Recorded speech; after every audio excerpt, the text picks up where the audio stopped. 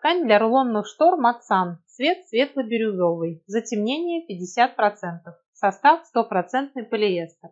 Страна производства ткани – Турция. Особенности – сухая чистка. Ткань эконом-класса, шероховатая, матовая, однотонная. Обратная сторона – лицевая сторона. Данная ткань из каталога Миамоза. Миамоза – это один из известных каталогов тканей для рулонных штор. В данном каталоге представлены ткани как для классических систем рулонных штор, так и для систем рулонных штор Зебра.